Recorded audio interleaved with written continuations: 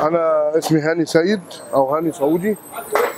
شيف فندق سميراميس إنتركونتيننتال. سوق كويس بس هو كل في الأمر إن اللحم يكون اللحم البلدي هي اللي بتبقى موجودة. هي أحسن حاجة تكون موجودة هي اللحمه البلدي. أنضف من السوداني وأنضف من أي لحمه موجوده عندك تاني. بنحاول بقدر الإمكان إحنا نوفرها للزبون. ماشي؟ حاجة من المزارع عندنا. اللي انت بتشوفيه؟ دي اسمها كوستليتاية وأنتراكوت.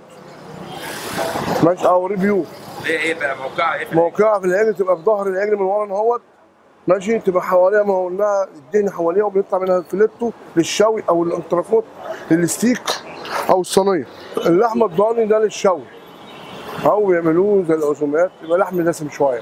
الانضف ما فيهم هو اللحم الكندوز. اللحمه بقى الصغير بينفع للخضار تعمل منه بفتكات ماشي؟ أما اللحم البتلو ده لحم إيه؟ لسه بيرضع. ممنوع ذبحه أساسا.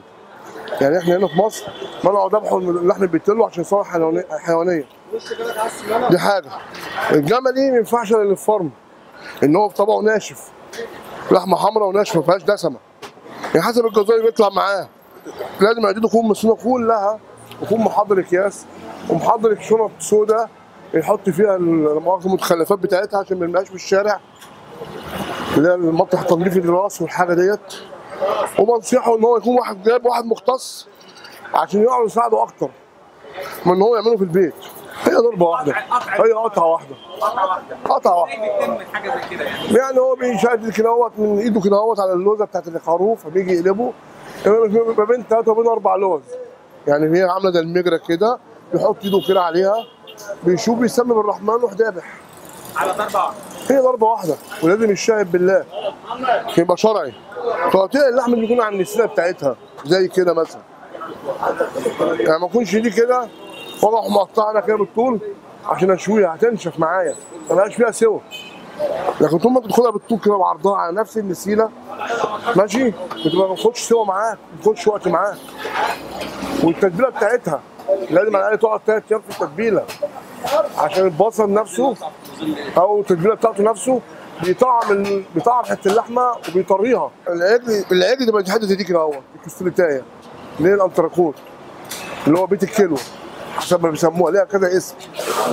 ماشي؟ وفي ناس بتاخدها اسمها rib eye تاخدها بعد ما تقطعها دي بقى حواليها برضه فوق منها في عرق فليتو. يعني هنا كده مكسية في عرق الفليتو أطرى حاجة في اللحم كله. ده بتاع الشوي.